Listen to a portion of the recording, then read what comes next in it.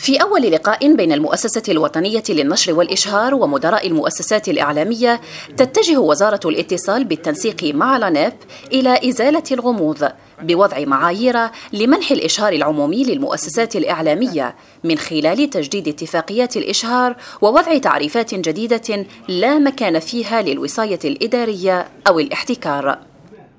نستمر في مسعانا الهادف إلى تطهير قطاع حساس لوضع حد للأطماع والممارسات المنافية لمهنة الصحافة. الملحق لانكس آه الذي تضيفه مؤسسة أناب إلى اتفاقيتها ابتداء من أول جانفي 2021 هو بمثابة إجراء إدخال تعامل تجاري وشراكة جديدة في سياق قانوني مجبر.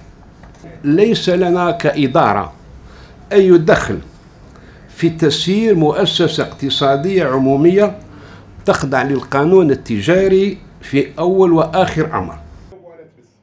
إعادة تنظيم قطاع الإعلام وتطهيره أولوية المرحلة المقبلة. بعد تحديد المؤسسة الوطنية للنشر والإشهار لخمسة عشر معيارا انتقاليا لتوزيع الإشهار العمومي على الجرائد الوطنية. يبدأ سريانه مطلع 2021 عملية التطهير هذه نفرز الصحافة والمؤسسات الإعلامية من الدخلاء على المهنة. وهم كثيرون داخل واحد. دار الناس دارت دارت تأسيس جرائد للاستفادة فقط من الإشهار. يعني للغنيمة بمنطق الغنيمة المال العام القوانين الموجوده لم تكن مطبقة. إحنا واش درنا؟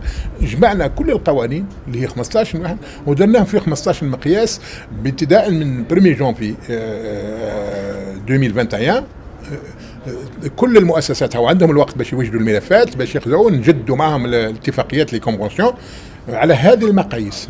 الهدف من وضع مقاييس جديدة للاستفادة من الإشهار العمومي لصالح الجرائد الوطنية هو إحداث توطين قانوني. وحسب الوزير بالحيمر فإن لكل مقياس من المقاييس الخمسة عشر سند قانوني معين.